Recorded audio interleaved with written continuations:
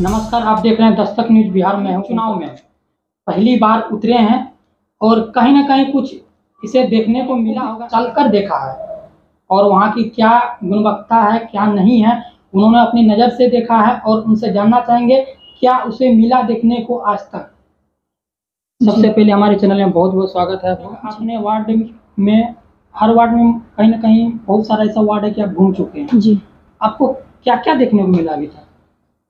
जी, अगर honest answer दूँ तो सारे वार्ड्स में हमें जो इंटरनल एरिया है उनके स्पेशली मैं उनके बारे में बताना चाहूँगी। जहाँ पे मुझे सड़कें तो कहीं दिखी नहीं टूटी फूटी सड़कें।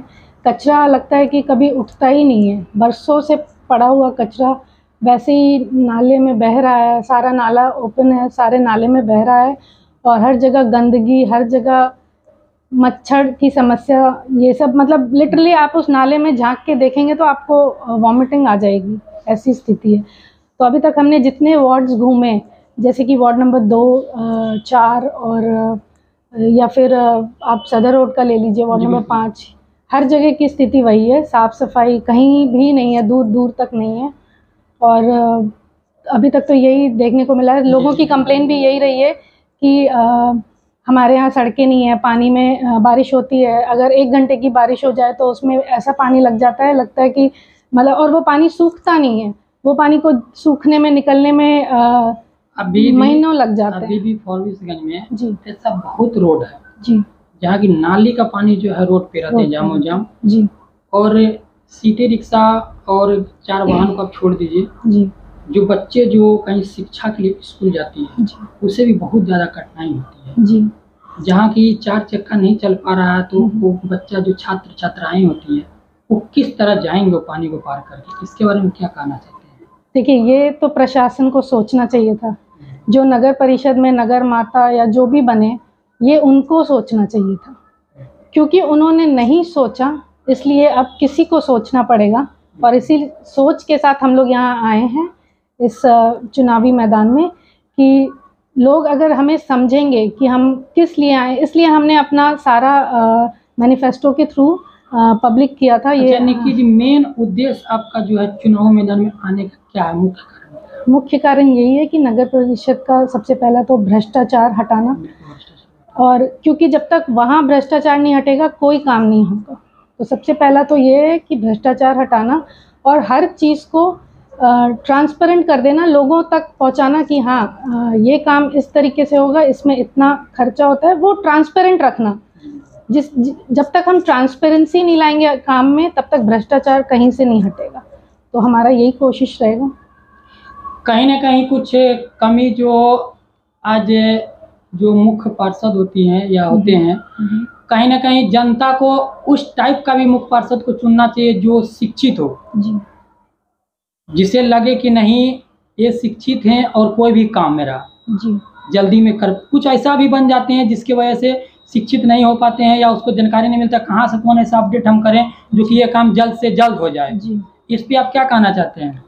इस पर मैं ये बोलना चाहूँगी कि शिक्षा तो एक तो सबका अधिकार है बिल्कुल। और बिल्कुल शिक्षित होना चाहिए क्योंकि एक शिक्षित जिस तरीके से काम करेगा जो जानकारी उनके पास होगी वो किस शायद किसी और के पास नहीं होगी। वैसे लोग दावे ये करते हैं कि नगर परिषद में आने के लिए शिक्षा का कोई महत्व नहीं है।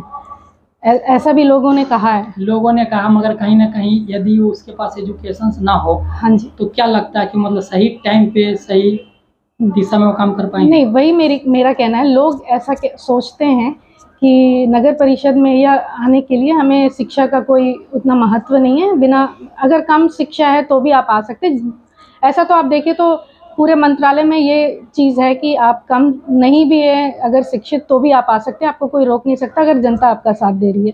लेकिन हाँ ये चीज़ है कि एक शिक्षित व्यक्ति जिस तरीके से काम को आगे बढ़ाएगा, वो अलग होगा।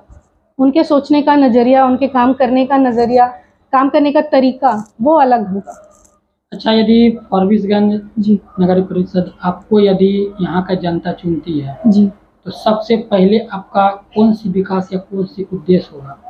जी हमारे सबसे पहला विकास जो है वो नाले की जो समस्या है सदर रोड की या पूरे फॉरबिसगंज की हमारा सबसे पहला काम उस पर चालू होगा। यहाँ जो जाम की समस्या है उस पर होगा।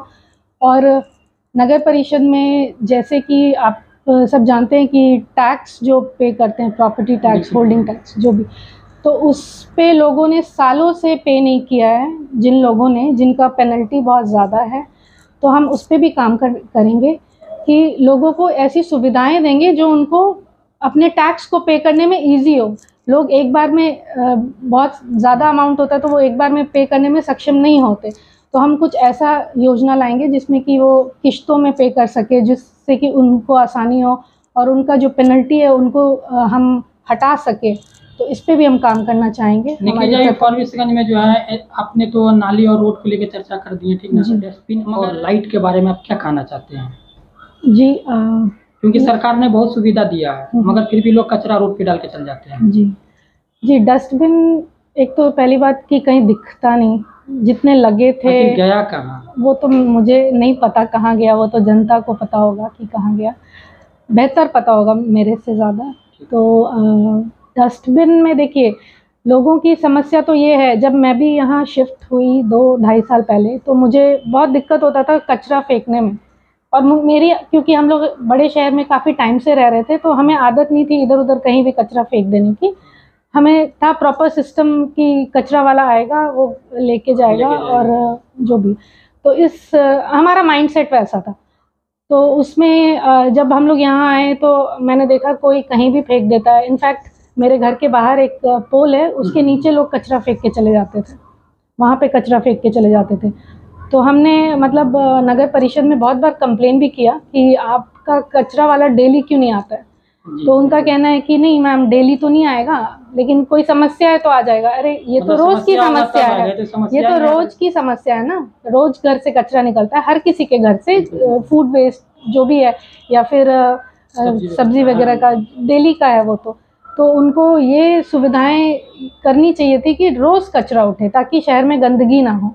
और डस्टबिन जो लगे हैं वो इतने छोटे छोटे लगे हैं वो मार्केट के डस्टबिन जो भी देख लीजिए उसमें लोग कचरा भी नहीं डालते क्योंकि लोग शिक्षित नहीं है उनको समझ ही नहीं आता कि ये क्यों लगाया है क्या है।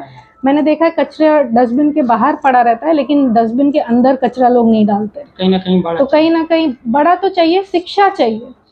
शिक्षा होना चाहिए आपको ज्ञान होना चाहिए कि आपको डस्टबिन में कचरा फेंकना है और कचरे में आप सेग्रीगेट कर सके। जैसे हमने देखा नगर परिषद में पंद्रह ई रिक्शा पड़े हैं जो कि छः महीने जो जिन्होंने विकास किया उसी दौरान वो आए हैं।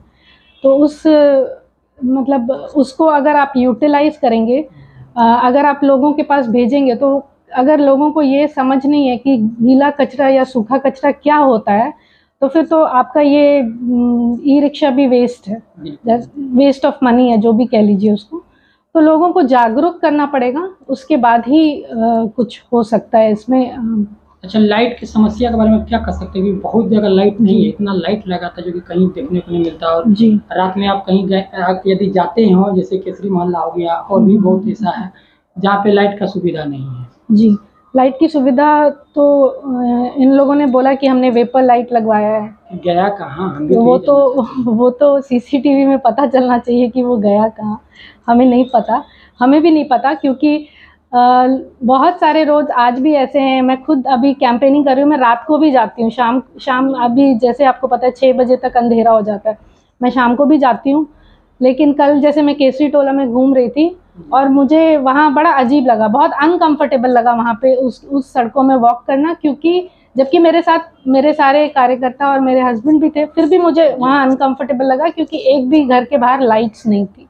जबकि उस ऐसा भी नहीं था कि इलेक्ट्रिसिटी थी नहीं उस टाइम लाइट थी उस टाइम फिर भी लाइट सड़कों पे नहीं जल रही थी। तो अब ये भ्रष्टाचार तो जिन्होंने किया है वही जाने। खत्म होनी चाहिए ना जी बिल्कुल ख़त्म होनी चाहिए। इसी सब पे हमें काम करना है। अच्छा आप लोग हमेशा सोशल मीडिया से बने हुए रहते जी। हैं? जी सोशल मीडिया पे ही हमने अपना पहला अभियान चलाया था।